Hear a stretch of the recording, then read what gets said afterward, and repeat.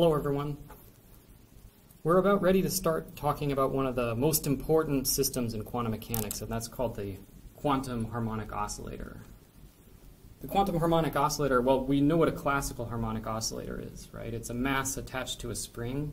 So the spring has spring constant k, some mass attached here, maybe this is the equilibrium position, and then the mass will oscillate back and forth.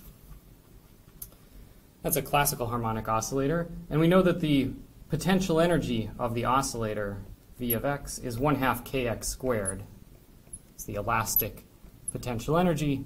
Spring has spring constant k here, and x is the distance the oscillator has been stretched from its equilibrium position. The frequency of this oscillation, the angular frequency omega, is the square root of k over m. So you can solve this in favor of k. k is equal to m omega squared. And you can substitute that in here and write it as 1 half m omega squared x squared. If I were to graph this potential, it would look something like this, and it would be a quadratic. Classically, if I had a particle in this potential, it would oscillate back and forth between a and minus a. a is the amplitude, so this object would oscillate back and forth, which corresponds to the oscillation of this spring. If we want to do the quantum mechanical version of this system, we should solve the Schrodinger equation, the time-independent Schrodinger equation, h hat psi is equal to E times psi. And h hat will be my kinetic energy p hat squared over 2m plus my potential energy, which is now this, 1 half m omega squared x squared. So that's what we're after. We want to know what are the allowed energies for a quantum particle experiencing this potential, sort of a spring-like force that that particle is feeling. Uh, we want to know what are the wave functions that describe a particle in this potential. And normally what you would do is you would try to solve this differential equation for the wave function. But there's a really cool trick for finding the energy levels and the wave functions in this system where you don't have to solve any differential equation at all, or a very simple one. And in order to exploit that trick, we need to learn some more math, which is, has to do with operators. And that's why the title of this lecture is Commutators and Ladder Operators. We're going to learn some mathematics needed in order to solve this equation in a very tricky, um, slick way. Let me remind you of some of the operators we've learned so far. X hat, so the hat is the operator, and an operator is just a set of instructions. So x hat is just simple, it just means multiply by x.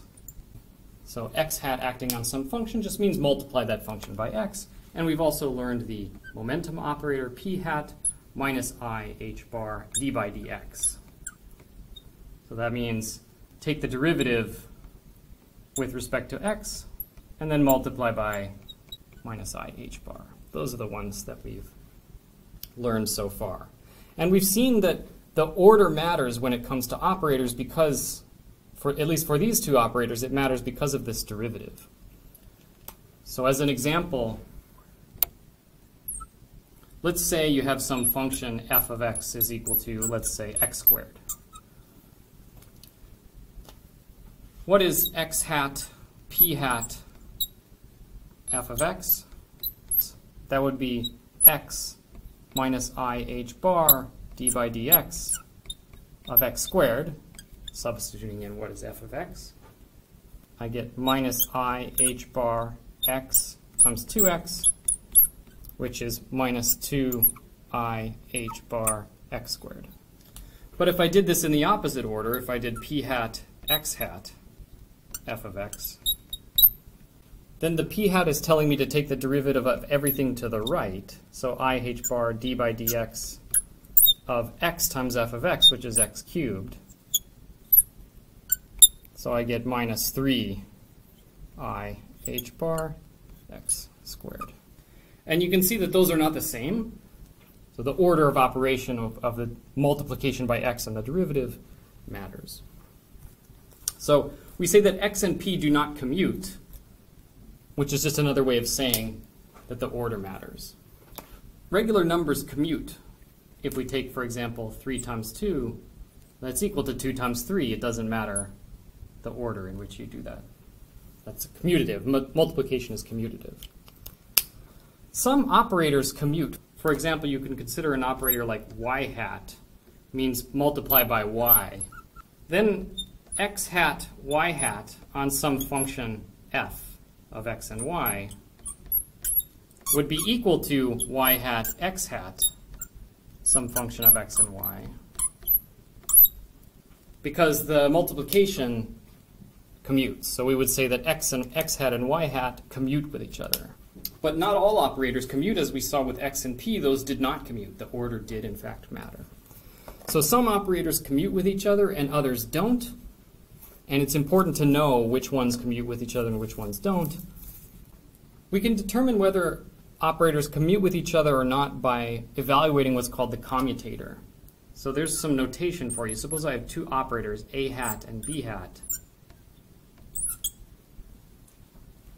This is equal to, by definition, this is the definition of this symbol, a hat b hat minus b hat a hat. So square brackets, a hat comma b hat is called the commutator of those two operators, a hat b hat minus b hat a hat. This is kind of a weird expression. It's kind of like these ones up here. What I should understand is this is an identity between operators. The left side is an operator and the right side is an op operator. So it's weird when you have operators which aren't attached to anything when you're just getting started using this notation. Remember that you should insert some kind of test function here, meaning that these operators are going to act on some function. And that just means that that's a hat, b hat acting on this function minus b hat a hat acting on the function. Okay, so if you have an operator and you're confused about it just sitting there alone, put some function next to it so that it has something to act on. If the two operators commute, a hat, b hat minus b hat, a hat would be 0. So this would be equal to 0 if the operators commute, and it's not equal to 0 if the operators don't commute.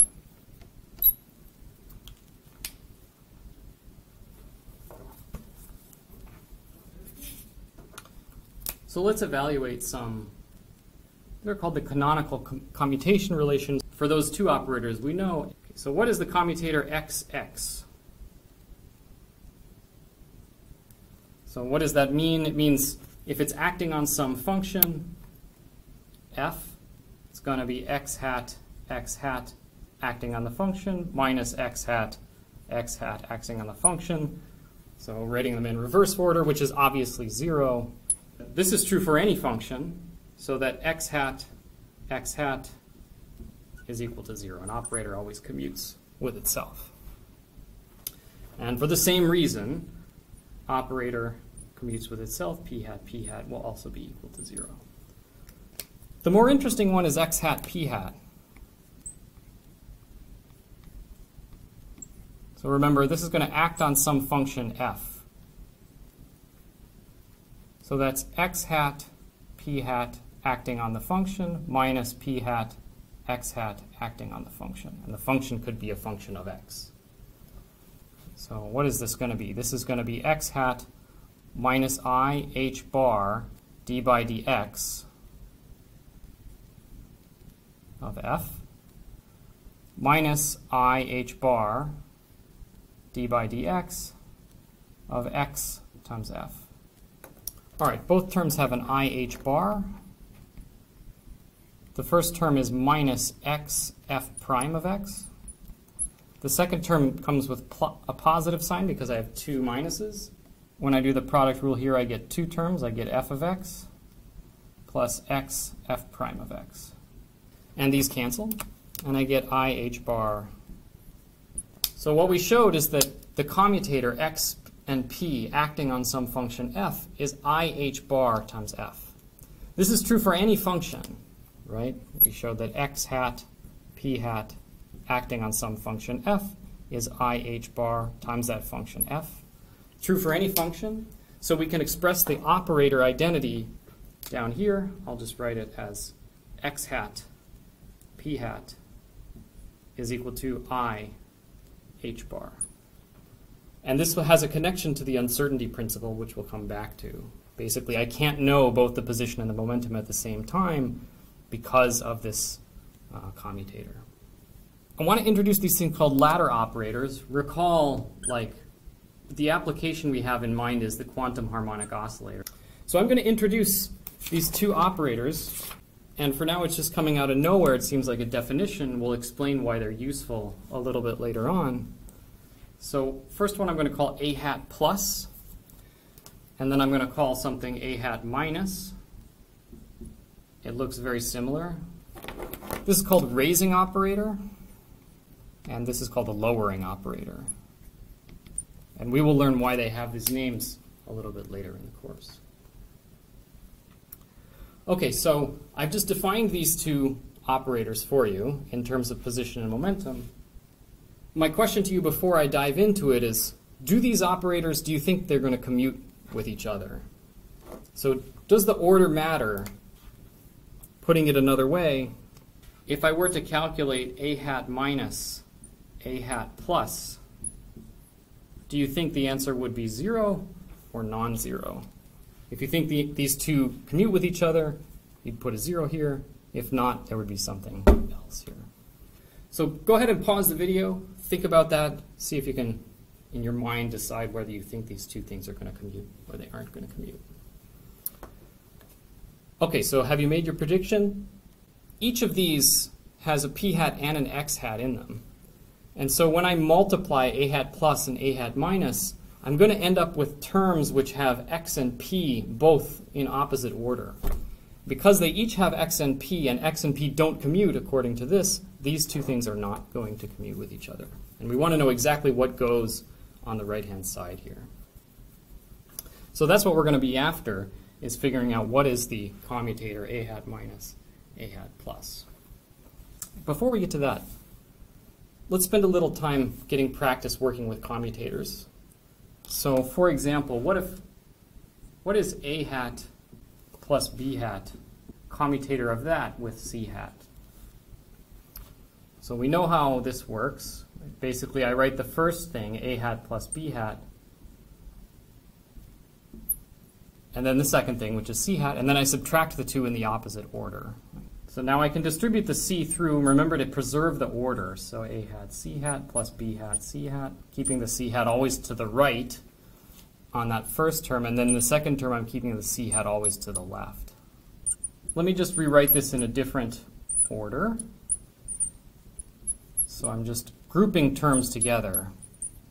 What we have here is the commutator of a and c. So this is a hat, c hat. And what we have here is the commutator of b and c, b hat.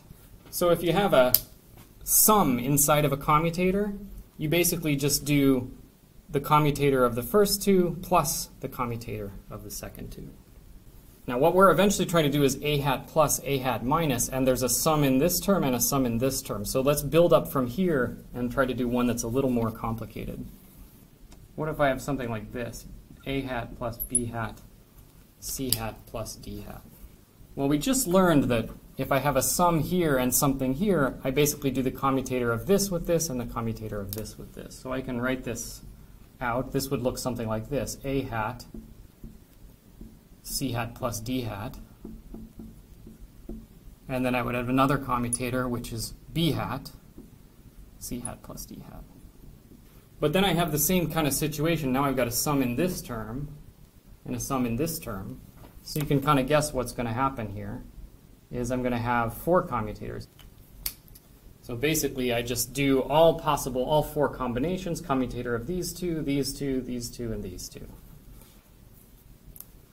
All right, so with this in mind, let's go back to our ladder operators and try to evaluate the commutator of those ladder operators. We're interested in this commutator, a hat minus, a hat plus, the lowering operator commutator with the raising operator. So these are constants. The constants can come outside because the constants I don't have to worry about the order. So I can bring this constant out in front and I can bring this constant out in front.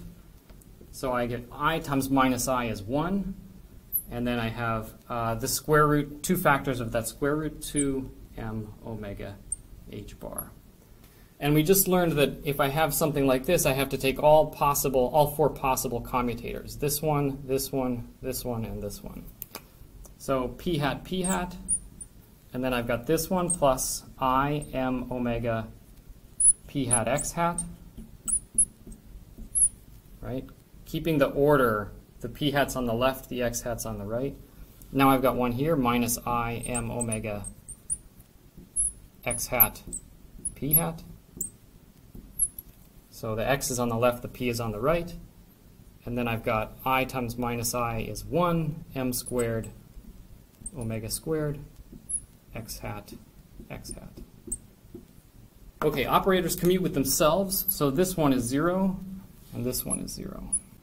x hat, p hat was i h bar. p hat, x hat, that's a commutator in the opposite order. So you have to think about what does that mean? a hat, b hat is equal to minus b hat a hat. So this will be equal to minus i h bar. So what do I have altogether?